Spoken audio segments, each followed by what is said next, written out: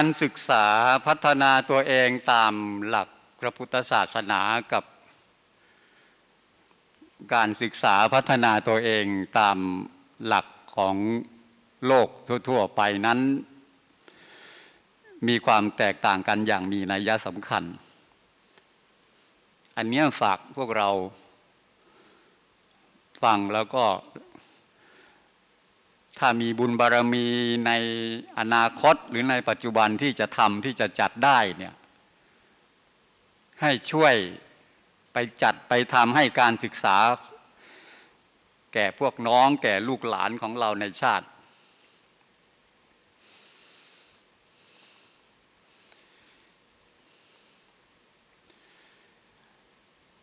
เมื่อการศึกษาสองอย่างนี้มีความแตกต่างกันอย่างสำคัญอย่างเนี้ยถามว่าคนที่ได้รับการศึกษาพัฒนาตัวเองโดยวิธีการใดวิธีการหนึ่ง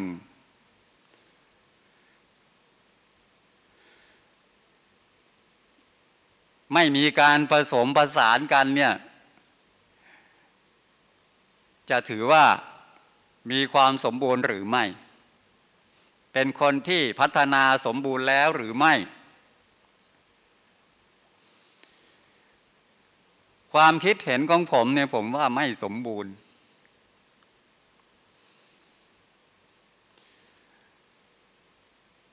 เอาหลักสัตธรรมสามของพระพุทธศาสนามาเป็นไม้บรรทัดวัด ทียบดู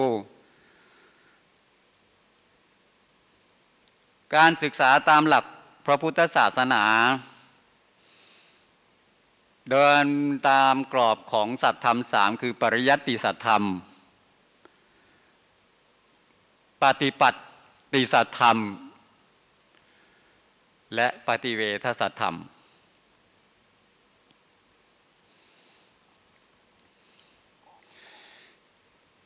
การศึกษาตามหลักของชาวโลกทั่วไป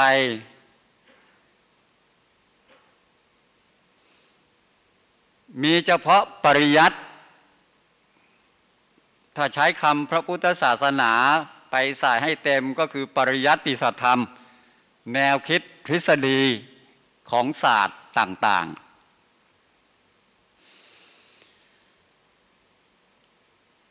แล้วปฏิปัติสัตธรรมและปฏิเวทสัตธรรมมีไหม ของชาวโลกทั่วๆไปเนี่ยบางที่ก็มีบางที่ก็ไม่มี บางที่ที่บอกว่ามีเนี่ยด้วยเหตุที่ว่าเมื่อศึกษาแนวคิดทฤษฎีหรือศึกษาในเชิงปริยัติแล้ว ผู้บริหารคณาจารย์ของสถาบันการศึกษานั้นๆ เขาก็มีกิจกรรมการฝึกอบรมกล่อมเกลาจิตใจให้กับลูกศิษย์ลูกหา โดยรูปแบบการไปเข้าค่ายบ้าง โดยรูปแบบมีห้องกิจกรรมบ้าง อย่างเช่น มหาวิทยาลัยที่ก่อตั้งโดยวัดในประเทศญี่ปุ่น เขาก็มีห้องกรรมฐาน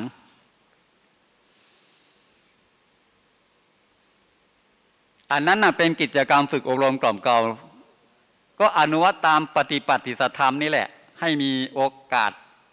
ได้ปฏิปัติสัธรรมด้วย แต่บางที่บางแห่งไม่มี จบสาขาต่างๆ เสร็จแล้วก็แยกย้ายกันไปทำหน้าที่การงาน แล้วส่วนที่เป็นปฏิปัติสธรรม ผลที่จะได้ก็คือความรู้ความเข้าใจเกี่ยววิธีการบริหารจัดการตัวเอง เรื่องคุณธรรมศีลธรรม มีได้อย่างไร บางคนที่จบการศึกษาเขามี เพราะว่าครอบครัวเขาทำหน้าที่อบรม ลูกหลานของเขา สถาบันการศึกษาก็ให้วิชาความรู้ ส่วนหลักวิชาความประพฤติดีปฏิบัติดี ครอบครัวญาติสนิทมิตรสหายสามพันธชนของเขา อบรมสั่งสอน เอ้านั่นก็โชคดีไป เป็นคนดีมีวิชา มีคุณธรรมมีศีลธรรมไป บางสถาบันมีห้องกรรมฐานอย่างที่ผมว่าเมื่อกี้นี้เอ้าก็โชคดีไป เรียนวิชาการจบได้ปริญญาไปแล้วก็มีโอกาสได้ฝึกอบรมกล่อมกล่าวตัวเอง เรื่องคุณงามความดีคุณธรรมศีลธรรม อันนั้นก็โชคดีไป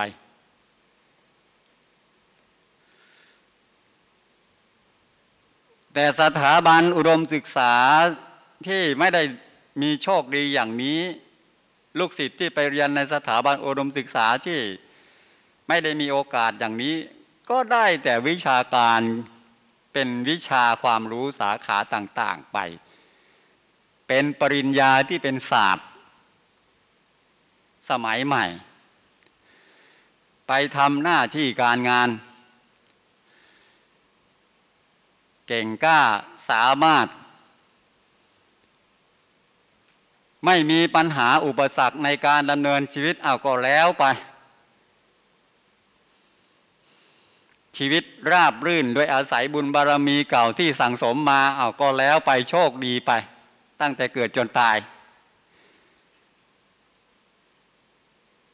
แต่ไม่ได้หมายถึงว่าทุกคนจะโชคดีชีวิตจะราบรื่นตั้งแต่เกิดจนตาย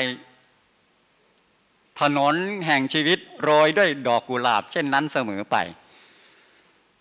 วกเราก็จะได้เห็นข่าวว่า เป็นด็อกเตอร์สาขานั้นสาขานี้เป็นทหารเป็นนายแพทย์เป็นใครไปทำหน้าที่การงาน ก่อปัญหาอาทยากรรม รูปแบบต่างๆ มีปัญหาชีวิตฆ่าตัวตายบ้าง ยิงกันบ้างอะไรสารพัดอย่างอันนี้คือกรณีตัวอย่างที่ มีปัญหาอุปสรรคในการดำเนินชีวิต กล่าวโดยสรุปก็คือไม่มีภูมิคุ้มกันทางด้านจิตใจไปเลย มีเฉพาะความรู้วิชาการที่ไปทำหน้าที่การงานนั้น ๆ อันนี้เป็นผลผิดของสถาบันอุดมศึกษา ทางโลก ทั้งหลายที่บางแห่งก็มีปริยัติติสัตธรรม และปฏิปัติติสัตธรรมในรูปแบบต่างๆ หรือบางแห่งไม่มีแต่ว่าคนที่มาเรียนจบการศึกษาไปมีโอกาสได้รับการฝึกอบรมกล่อมกล่าวจากครอบครัวญาติสนิทมิตรสหายสัมพันธชนก็โชคดีไป อันนี้ก็เป็นข้อชี้ชัดอยู่แล้วว่า ได้รับการพัฒนาไม่ครบถ้วนทุกด้านไม่สมบูรณ์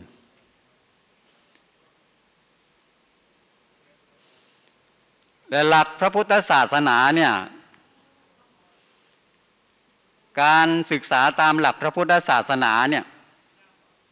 ที่เป็นของพุทธจริง ๆ นะ ไม่ใช่ของมหาวิทยาลัยสงฆ์นะ เป็นของพุทธจริง ๆ เนี่ย เริ่มด้วยปริยัติสธรรม ตามด้วยปฏิปัติสธรรม ปฏิเวทสัตธรรมไม่ต้องไปโหยหา เราทำปริยัติสัตธรรมสมบูรณ์ ปฏิปฏิสัตธรรมครบถ้วน ปฏิเวทสัตธรรมอยู่ตรงนั้นบ้างตรงนี้บ้างทั่ว ๆ ไป รออยู่แล้วทุกที่ทุกแห่งทุกเวลา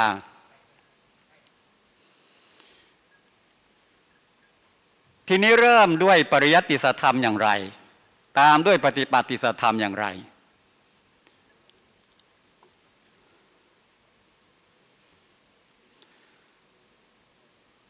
ปริยัติสัธรรม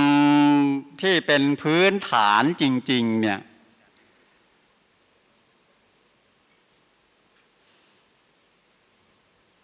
มีทั้งหมด 84,000 พระธรรมขันธ์ก็จริงนะครับ แต่ว่าแก่นจริง ๆอยู่ที่ขันธาตุอายตนะ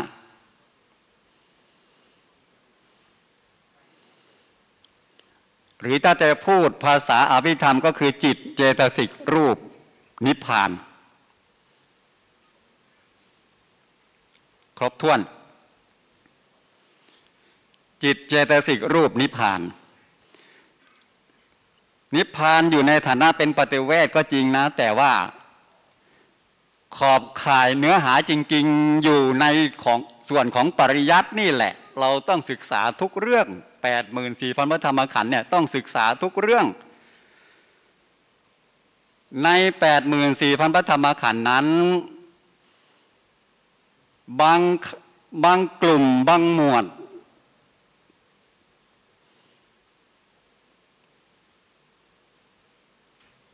เป็นกลุ่มเป็นหมวดที่ต้องเรียนให้รู้ เพื่อรู้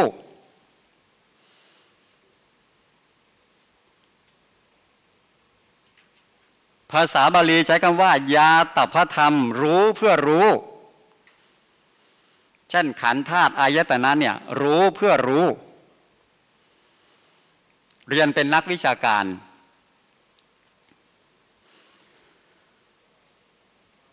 บางกลุ่มบางหมวด เป็นหลักธรรม รู้เพื่อบรรลุ รู้เพื่อบรรลุเนี่ยภาษาบาลีใช้คำว่า สัจฉิกาตัพธรรม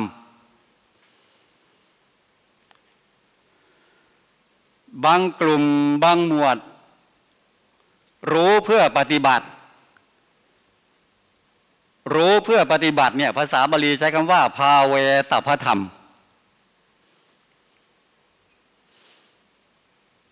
ไม่ว่าจะเป็นรู้เพื่อรู้ รู้เพื่อบรรลุ รู้เพื่อปฏิบัติ ยาตพธรรม สัจฉิกาตพธรรม ภาเวตพธรรมเนี่ย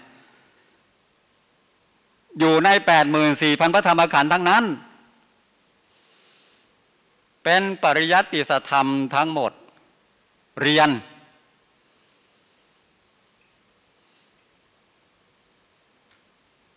เป็นพระเจ้าประสงค์เป็นสมณะชีพรามมีเวลามากเรียนมาก เป็นคฤหัสถ์ญาติโยมคนทำมาหากินมีเวลาน้อย เรียนน้อย แต่ต้องเรียน พวกเราเป็นสมณะชีพรามชาวบ้านถวายความอุปถัมภ์เป็นส่วนมาก ไม่กังวลด้วยเครื่องอุปโภคบริโภค การเป็นการอยู่เอ้าเรียนมาก มีเวลามากเรียนมาก นอกจากรูปจิตเจตสิกรูปมิพานขันธาตุอายตนะ แล้วเราก็เรียนธรรมะแวดล้อมอื่น ๆ อย่างที่เราเรียนมาในหลักสูตร นักธรรมชั้นปรีโทเอกนั่นแหละคฤหัสถ์ญาติโยม มีเวลาน้อย มีภารกิจในด้านอื่นมาก ก็เรียนส่วนที่เป็นพื้นฐานที่ผมบอกเมื่อกี้เนี่ยคือขันธาตุอายตนะต้องรู้นะ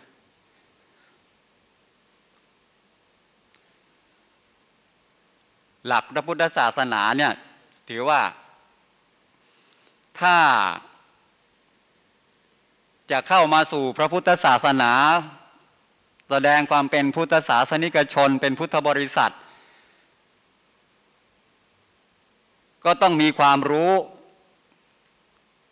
ทั้งส่วนที่เป็นปริยัติธรรม ปฏิปัติธรรม และปฏิเวทธรรม ปริยัติธรรมอย่างน้อยก็ขันธาตุอายตนะอย่างที่ผมว่านี่แหละ แล้วก็ให้สามารถตอบตัวเองได้ อย่างน้อยสามคำถามนะครับ ท่านนิสิตทั้งหลายเนี่ยลองไปถามคฤหัสถ์ญาติโยมเนี่ยจบปริญญาชั้นไหนก็แล้วแต่ ชีวิตคืออะไร ประกอบด้วยอะไร เกิดแก่เจ็บตายคืออะไร จะรู้ว่าแก่ก็ต่อเมื่อตัวเองแก่แล้ว จะรู้ว่าตายก็เมื่อตายแล้ว ทั้งที่มันเป็นธรรมชาติของชีวิตเนี่ย เพราะฉะนั้นเราก็จะเห็นว่าเมื่อเกิดโรคภัยไข้เจ็บขึ้นในบ้านเราเนี่ยก็ตื่นตระหนกตกใจกลัวกัน ผมก็ยังเคยถามว่าจะไม่ตายหรือไง ก็เขาไม่เข้าใจครับ ขันธาตุอายตนะ มันคืออะไร เขาไม่เข้าใจ ถ้าเข้าใจก็จะไม่ตื่นตระหนก อันนี้ไม่จำเป็นต้องเป็นสมณชีพรามนะคฤหัสถ์ญาติโยมคนทำมาหากินทุกเพศทุกวัยก็ต้องรู้นะ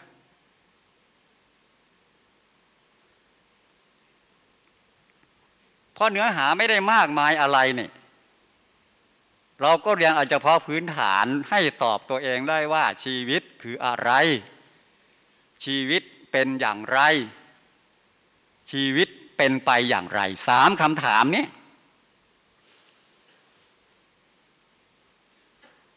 ให้เขารู้ว่า โอ้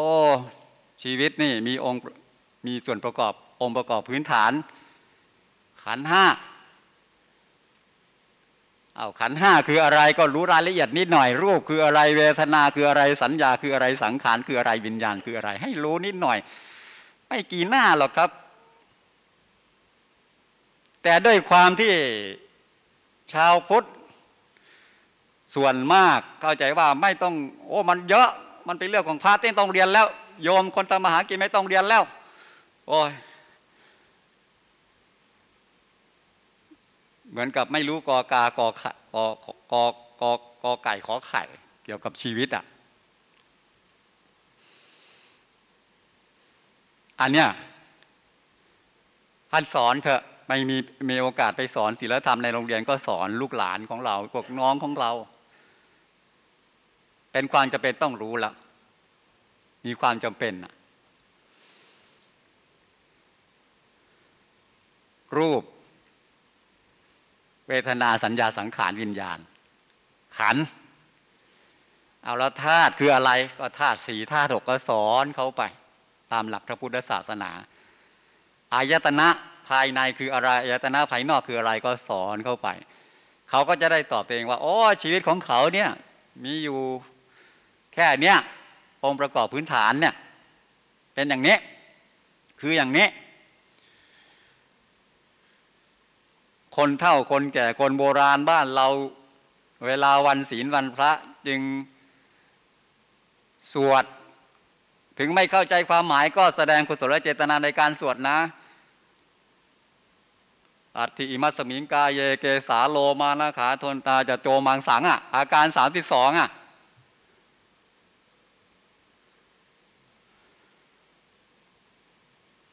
อันนั้นแหละสวดเพื่อให้ระลึกถึงขันธาตุอายตนะ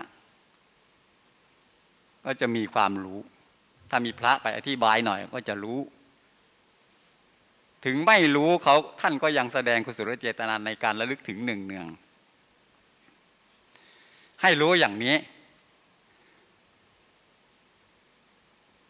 เด็กที่เก่งๆเรียนวิทยาศาสตร์ เรียนวิศวะ ที่เก่งกล้าจริง ๆ พวกกีเนียสทั้งหลายเนี่ยเรียนไปเรียนมา อยู่กับเครื่องยนต์กลไก ก็เลยคิดว่าชีวิตของตัวเองก็เหมือนกับเครื่องยนต์กลไกนั่นแหละ ไม่เคยได้ยินได้ซ้ำไปว่า ขันธาตุอายตนะ ไม่เคย รูปเวทนาสัญญาสังขารวิญญาณ ไม่เคย เขาไม่เคยได้ยินตั้งแต่เกิดมา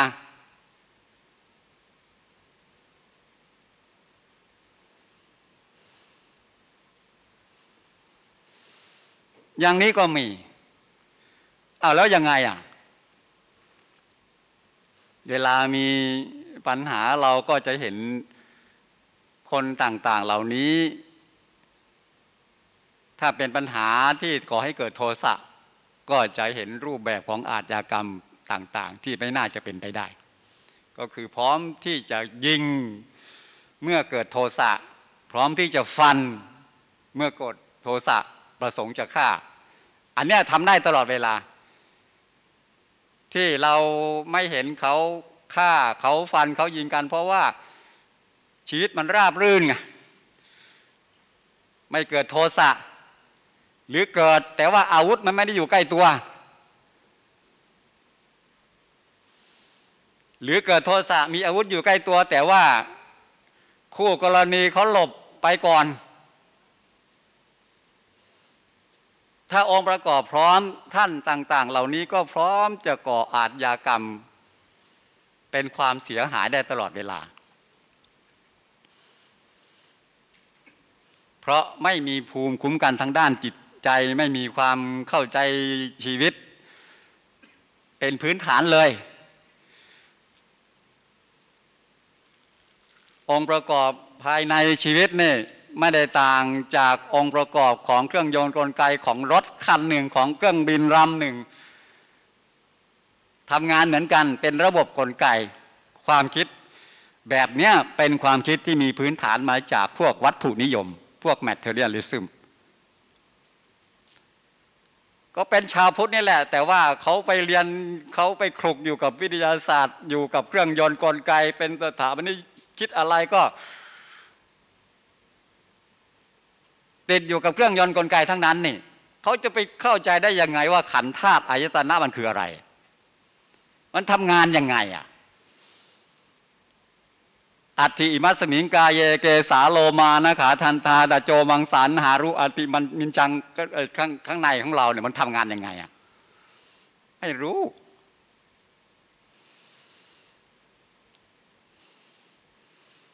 เอาเมื่อไม่รู้ก็คิดไปอีกแบบหนึ่งเพ ราะฉะนั้นก็ตอบตัวเองไม่ได้ว่าชีวิตคืออะไรคำถามที่สองชีวิตเป็นอย่างไร อันนี้ยิ่งไม่รู้ใหญ่เลย เพราะว่าไม่ได้เรียนว่ามันคืออะไรแล้วจะไปรู้ว่ามันเป็นอย่างไรได้ยังไง เพราะฉะนั้น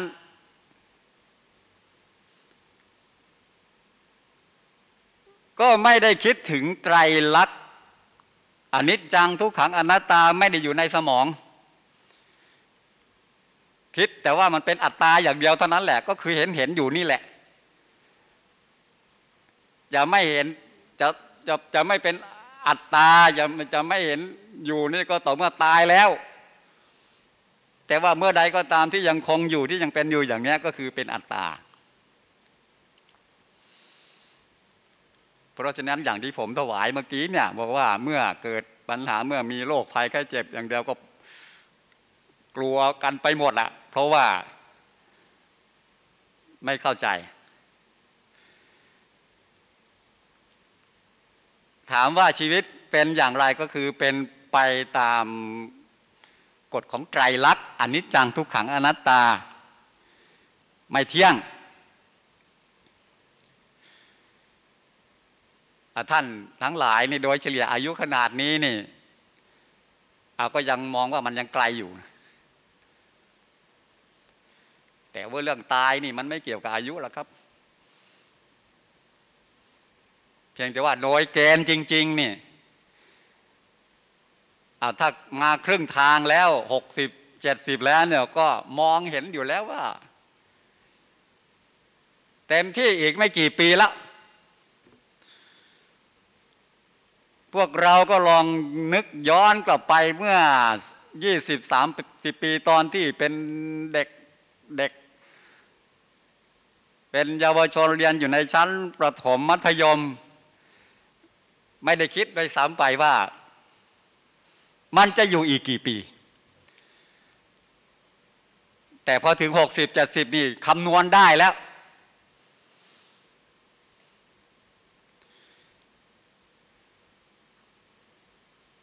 ยี่สิบปีอีกยี่สิบปีก็ถือว่ามากแล้วกะไว้ประมาณเท่านั้น เอายี่สิบปีมันนานสักขนาดไหนล่ะ มันจะนานได้ยังไง ขนาดเก้าสิบปียังพันกว่าเดือนเท่านั้นเอง เอาอย่างนี้คนที่เขาไม่เรียนหลักนี้ เขาจะรู้ไหมจะตระหนักอย่างนี้ไม่มีทาง ทุกคนก็คิดว่าเป็นอมตะเท่านั้นน่ะ เพราะฉะนั้นก็แสวงหาอะไรอะไรอ๋อมีอะไรมาเพื่อความยั่งยืนนาน เวลาทะเลาะกันเวลามีปัญหากันเนี่ยเหมือนกับมันจะไม่ตายเออมันจะเอาเป็นเอาให้ได้นะอันนี้คือคนไม่เข้าใจใจรักไม่รู้ว่าชีวิตเป็นอย่างไร พูดกันยาก เวลามีปัญหาทะเลาะกันเนี่ย ตกลงกันยาก จะเอาอย่างเดียว อันนี้ก็ตอบตัวเองไม่ได้อีกเหมือนกันนะหลักการศึกษาทั่วไปเนี่ยไม่ได้ให้ข้อมูลที่เป็นคำตอบแก่ผู้ศึกษา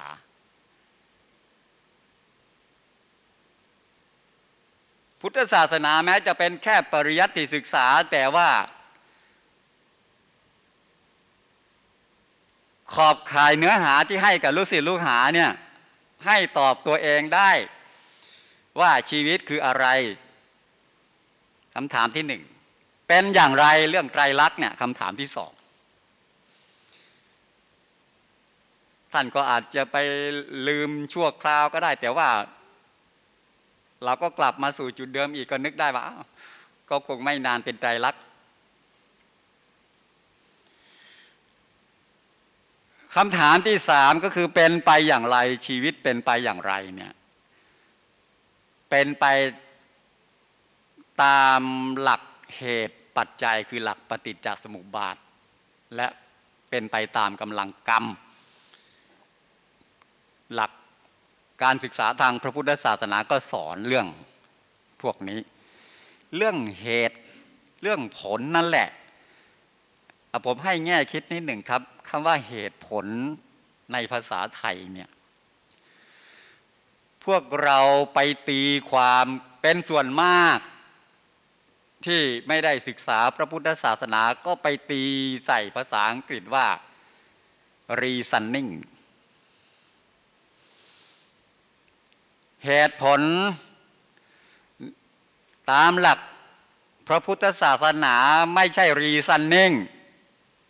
เหตุผลตามหลักพระพุทธศาสนาคือ cause and effects เหตุและผล เป็นสองสิ่งที่มาคู่กัน แต่ reasoning แปลว่ากระบวนการให้เหตุผล พูดเก่งให้เหตุผลเก่ง ชี้ผิดเป็นถูก ชี้ถูกเป็นผิด พูดดำเป็นขาว พูดขาวเป็นดำนั่นคือ reasoning เราก็ไปเข้าใจอย่างนั้น ให้เป็นคนมีเหตุผลหน่อยเป็นคนมีเหตุผลหน่อยตามหลักพุทธศาสนาหมายถึงให้เป็นคนรู้จัก cause and effects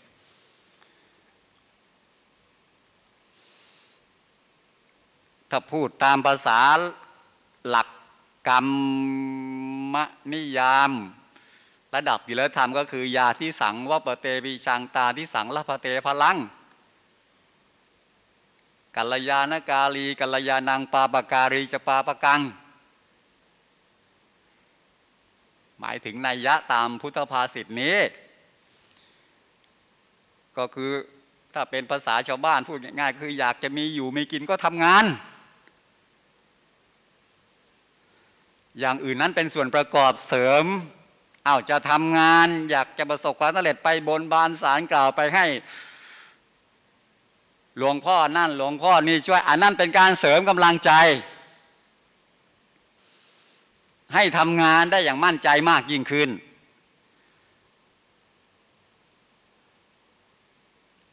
ไม่ใช่สาเหตุหลักสาเหตุหลักก็คือความขยันหมั่นเพียรการทำหน้าที่การงาน เอาก็จะมีอยู่มีกิน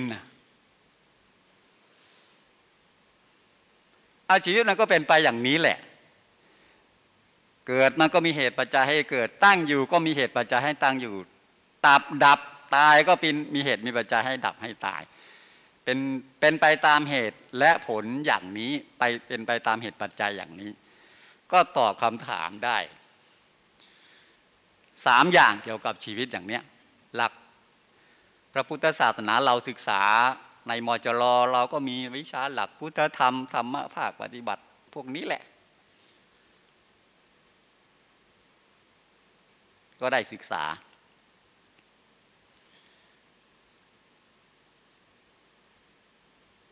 ปริยัติติสธรรม ศึกษาอย่างนี้แล้ว พระพุทธศาสนาก็ยังมีหลักที่สองคือปฏิปัติสธรรม ก็คือวิชากรรมฐานนี่แหละ อย่างที่เรามาศึกปฏิบัติอยู่เนี่ยปฏิปัติสธรรมโดยสาระคืออะไรคือไตรสิกขา ศีลสมาธิปัญญานะครับ รสิกขาเนี่ยภาษาเดิมจริง ๆ ภาษาพระพุทธศาสนาภาษาคัมภีร์เนี่ยคำเต็มๆก็คืออธิศีลสิกขาอธิจิตสิกขาอธิปัญญาสิกขา มีคำว่าอธินำหน้า และที่สำคัญคือมีคำว่าสิกขาตามหลัง ศีลจิตปัญญา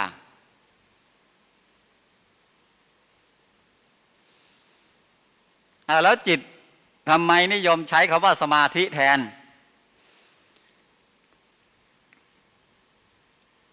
แล้วทำไมต้องมีคำว่าสิกขาตามหลังสิกขาคำนี้ ก็เป็นความเข้าใจผิดของวงการการศึกษาอีกนั่นแหละ สิกขาคำนี้ภาษาบาลี แปลว่าการเรานิยมแปลว่าการศึกษา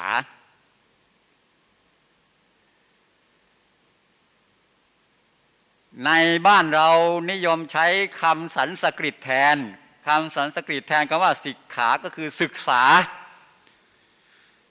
ภาษาบาลีใช้คำว่าสิกขาคำบาลีใช้คำว่าสิกขาคำสันสกฤตใช้คำว่าศึกษาคำเดียวกัน แล้ววงการการศึกษาบ้านเราก็ใช้คำนี้ก็คือการศึกษาทั่วๆไปในสถาบันการศึกษา เราก็จะเห็นชื่อกระทรวงการอุดมศึกษาสำนักงานคณะกรรมการการอุดมศึกษา การศึกษาขั้นพื้นฐานอะไรต่างๆเนี่ยก็เนี่ยคำเนี่ยและที่ทำให้เกิดผลเสียมากขึ้นไปอีกก็คือ ไปแปลคำว่าศึกขาศึกษาคำเนี้เป็นภาษาอังกฤษว่า study นี่สิฮะ สตาร์ทดี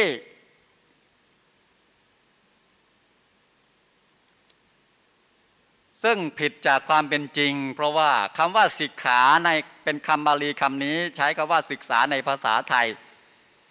ตรงกับภาษาอังกฤษว่า training แปลว่าการฝึกอบรม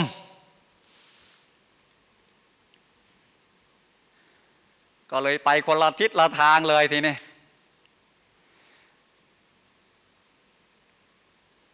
พระพุทธศาสนาใช้คำว่าอธิศีลสิกขาอธิจิตสิกขาอธิปัญญาสิกขาคำว่าสิกขาคำนี้ มีนัยยะครอบคลุม ทั้งการศึกษาเล่าเรียนก็คือ studyและการศึกษาอบรมก็คือเทรนนิ่งเพราะฉะนั้นพระพุทธศาสนาจึง มีปริยัติสัธรรมแล้วมีปฏิปฏิสัธรรมด้วย ก็คือเทรน ฝึกอบรมควบคู่ไปกับศึกษาเล่าเรียน ตัวปฏิปฏิสัธรรมศึกศึกษาอบรมเนี่ยก็คือตัวไตรสิกขานี่แหละ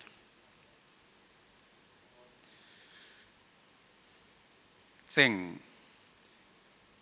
ศีลในไตรสิกขาเนี่ยอย่างที่บอกก็คือมีคำว่าสิกขาตามท้ายด้วยเนี่ยก็โดยเหตุที่ว่าท่านไม่ได้มุ่งเอาเฉพาะศีลที่เป็นข้อข้อ ไม่ได้มุ่งเอาเฉพาะศีลห้าศีลแปดศีลสิบศีลสองร้อยยี่สิบเจ็ด เท่านั้นนะท่านมุ่งเอาการฝึกอบรมตัวเองในเรื่องอื่น ๆด้วย อินทรีย์สังวรการสำรวมอินทรีย์ด้วย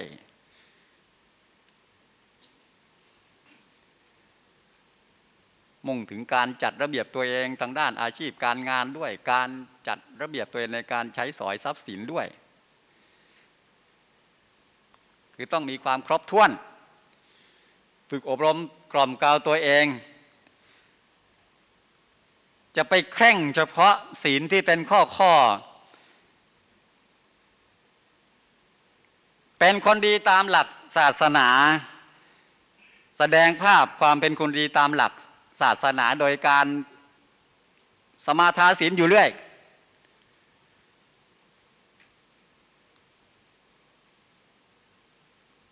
แต่ความเป็นคนดีของสังคมกับความเป็นคนดีของครอบครัวเนี่ย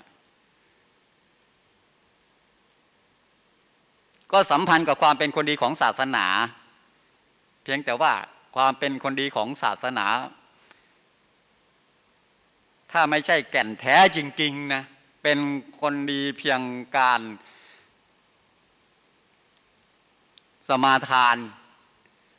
แสดงสัญญลักษณ์ ความเป็นผู้ทรงศีลอยู่เนืองๆเนี่ยบางทีมันไม่ครอบคลุมความเป็นคนดีของชาติของครอบครัวด้วย มันก็ต้องครบถ้วน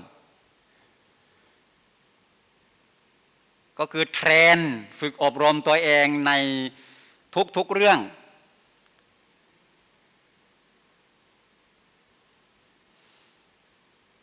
ศีลเป็นข้อข้อก็ได้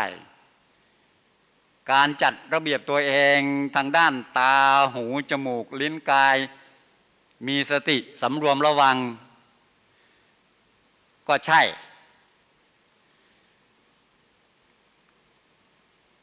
มีความดีงามทางด้านการทำหน้าที่การงาน นอกจากสุจริตแล้วยังยุติธรรมด้วยนะ เพราะว่าคำว่าสุจริตกับยุติธรรมเนี่ยบางทีมันสุจริตอะ สุจริตตามหลัก ศาสนาเนี่ยครอบคลุมถึงคำว่ายุติธรรมด้วยนะ แต่สุจริตตามหลักกฎหมายของบ้านเมืองบางทีมันไม่ยุติธรรมนะครับ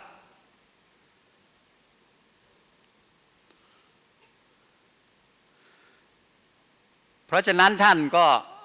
ให้มีทั้งความสุจริตและยุติธรรม ทั้งตามหลักศาสนาทั้งตามหลักกฎหมายของบ้านเมือง เทรนตัวเองในทุกๆเรื่อง อันนี้คือศีลสิกขา ฝึกอบรมตัวเองในทุกๆเรื่องเนี่ยคือศีลสิกขา ทั้งตาทั้งกาย ทั้งกายทั้งทั้งวจีทวารกายทวารทั้งมโนทวารอะ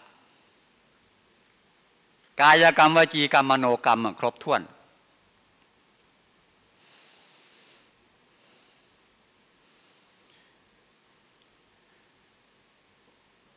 จากศีลสิกขาก็จิตตสิกขาก็คือฝึกอารมณ์กล่อมกล่าวจิตใจของตัวเอง ให้เป็นสมาธิ เพราะฉะนั้นเราจริงนิยมใช้คำว่าสมาธิ สมาธิเป็นคำที่เรียกเป้าหมาย ก็คือจิตเป็นสมาธิคำพีใช้ว่าจิตสิกขา เพราะมุ่งเอาสิ่งที่เราอบรมกล่อมเกลาเป็นหลัก โดยสาระก็คือสมถกรรมฐานนั่นแหละครับ ท่านจิตสิกขาเนี่ย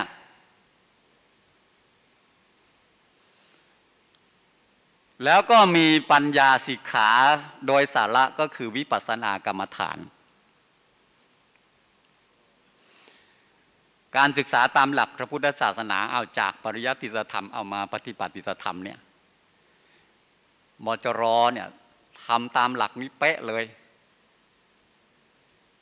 ท่านมาปฏิบัติกรรมฐานวิปัสนาจารย์ท่านก็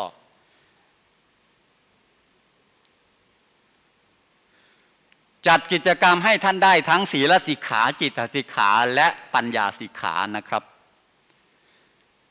ศีลสิกขาท่านไม่ได้ไปยุ่งเกี่ยวกับส่วนที่เป็นศีลสิกขาบท 227 ข้อ ของท่านเพราะว่าอุปชาได้บวชมาแล้ว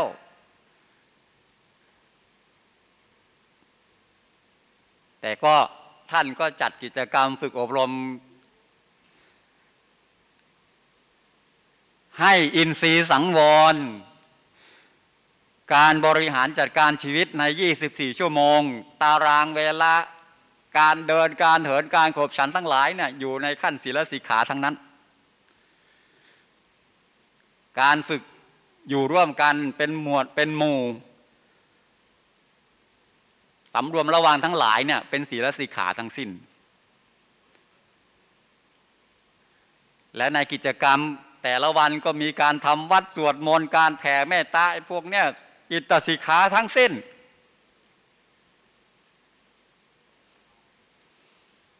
และในภาคปฏิบัติผมก็คิดว่าคงใช้วิธีการสติปัฏฐานสีนั่นแหละ เน้นกายานุปัสนาสติปัฏฐาน การยืนการเดินการนั่งนี่แหละ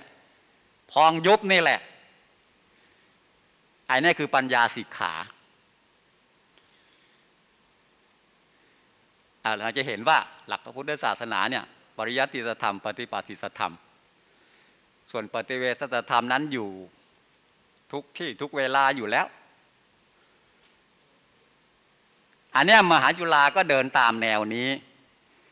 และที่พิเศษที่ถือว่ามจรได้ทำมากกว่ายิ่งกว่าสถาบันอุดมศึกษาทั่วไปก็คือ มีการศึกษาวิชาการสมัยใหม่ นี่แหละพระพุทธศาสนาบูรณาการกับศาสตร์สมัยใหม่ หลายท่านก็ศึกษารัฐศาสตร์ หลายท่านก็ศึกษารัฐประศาสนศาสตร์ บางท่านก็ศึกษาพระพุทธศาสนา ก็เป็นปริยัติสธรรมเหมือนกัน แล้วท่านก็ได้ปฏิปัติสธรรมเนี่ยไปด้วย อันเนี้ยถือว่า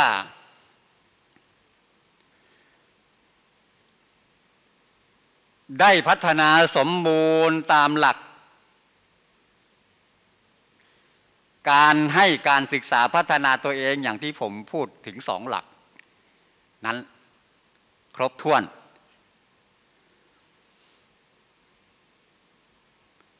เพราะฉะนั้นเป็นโอกาสที่ท่านได้ พัฒนาตัวเองทั้ง ตามรูปแบบของการศึกษาตามสถาบันอุดมศึกษาทั่วไป และรูปแบบการศึกษาตามหลัก พระพุทธศาสนา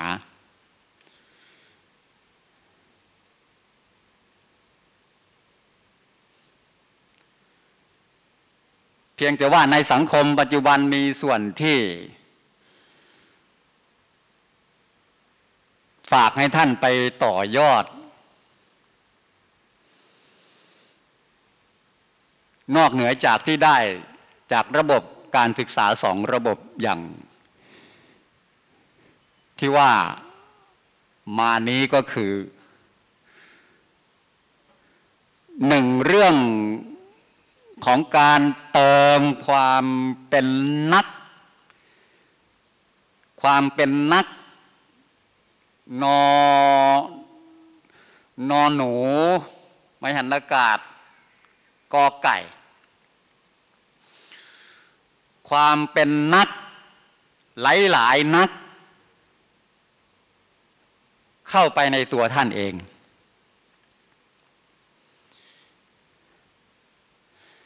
ถ้าเป็นยุคก่อนสมัยก่อน เพียงแค่ได้รับการศึกษาเล่าเรียนศึกษาอบรมพัฒนาตัวเองตามหลัก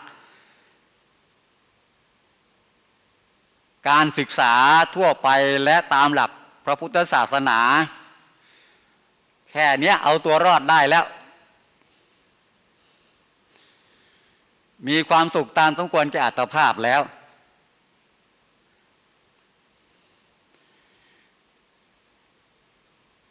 แต่ในปัจจุบันเนื่องจากความก้าวหน้าทางด้านเทคโนโลยี โดยเฉพาะเทคโนโลยีสารสนเทศเนี่ย เทคโนโลยีการสื่อสารเนี่ยก้าวหน้ามาก ในความก้าวหน้านั้นมีทั้งความดีมหาศาล และมีทั้งโทษ มหาศาลเช่นเดียวกัน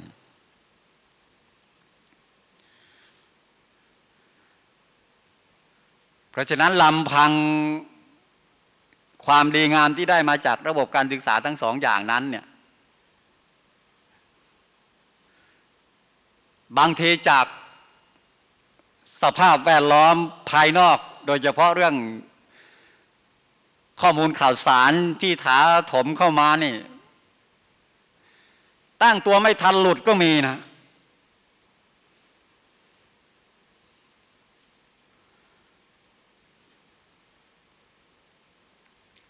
คิดไม่ทัน ตั้งรับไม่ทัน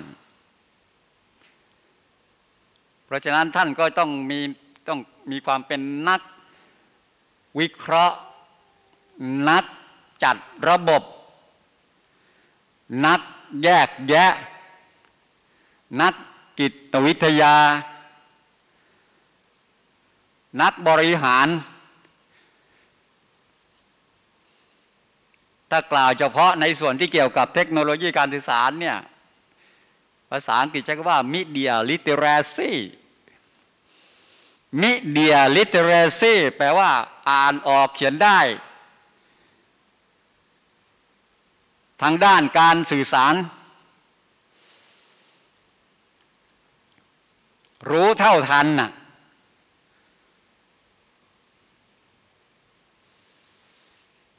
แต่พวกเราก็จะได้เปรียบตรงที่ ได้รับการฝึกอบรมกล่อมเกลาพัฒนาตัวเอง โดยรูปแบบของการศึกษาทั้งสองระบบ เพราะฉะนั้นก็จะมีความพร้อม เพียงแต่ว่าฝึกให้มีหลักคิดในการรับรู้ในการถ่ายทอดในสังคมยุคใหม่เนี่ยใช้หลักกาลามาสูตรให้มากครับ มา ปรัมปรายะอย่าเพิ่งเชื่อด้วยฟังตามตามกันมา มาอิติกิรายะ อย่าเพิ่งเชื่อด้วยคำเล่าลือ ท่านลองนึกดู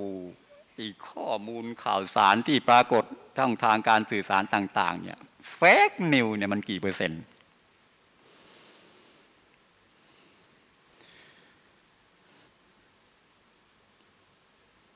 ถ้าไม่นิ่งวิเคราะห์จริง ๆ เนี่ย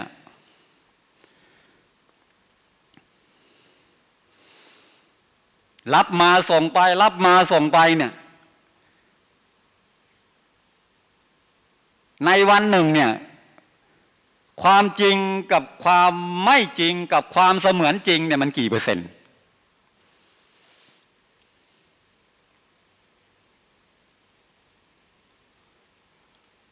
บางทีไม่น่าเชื่อว่า เรื่องสำคัญขนาดนี้ เรื่องใหญ่อย่างนี้ สื่อออกมาในวงกว้างขนาดนี้ เป็นแฟกนิวได้ยังไง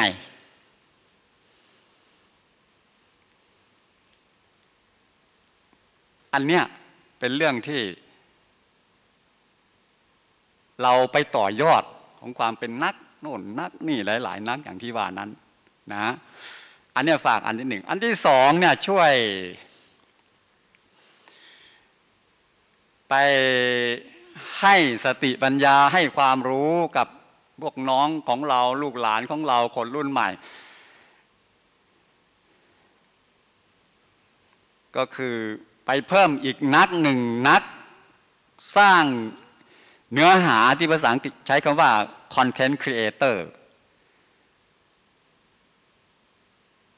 กับนักออกแบบนำเสนอก็คือ presentation designer เรามีคอนเทนต์เรามีอะไร มีคุณค่าแล้วไปออกแบบวิธีการในการนำเสนอสร้างจุดสนใจให้กับคนรุ่นใหม่ เป็นบุคคลที่น่ากลัวเป็นรุ่นที่น่ากลัวนะครับ เป็นเจเนเรชันที่น่ากลัวแล้วก็อยู่ในอันตรายอย่างมาก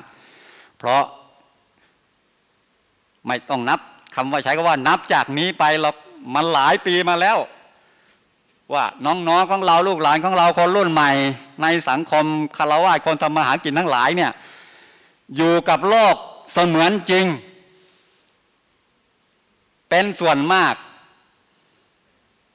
โลก ก็เลยแยกไม่ออกว่าอันไหนคือความจริง อันไหนคือเสมือนจริง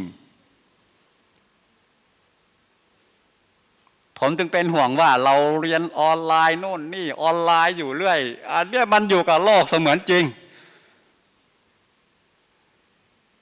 ซึ่งมันผิดธรรมชาติของมนุษย์ มนุษย์เป็นสัตว์สังคมนะครับ ต้องเรียนรู้การอยู่ด้วยกัน ถ้าอยู่ด้วยกันไม่ได้ มันก็เป็นสังคมไม่ได้ เอาเรามนุษย์เป็นสัตว์สังคม มันจะอยู่อยู่ด้วยร่วมกันไม่ได้มันเป็นสังคมไม่ได้ เอาอยัางไงอะโลกก็แตกสิครับท่าน เพราะฉะนั้นก็ท่านก็มีแต้มต่อเยอะก็ฝากไปทำสองอย่างเนี่ยก็คือนอกจากสร้างความเป็นนักพพื่อบริหารจัดการตัวเองแล้ว ไปจุดประทีปไปให้ปัญญา ให้สติ ให้สัมปชัญญะ กับลูกหลานเยาวชนในบ้านเราแล้วก็ ให้เขามีวิจารณญาณในการที่จะแยกแยะ อันไหนเป็น facts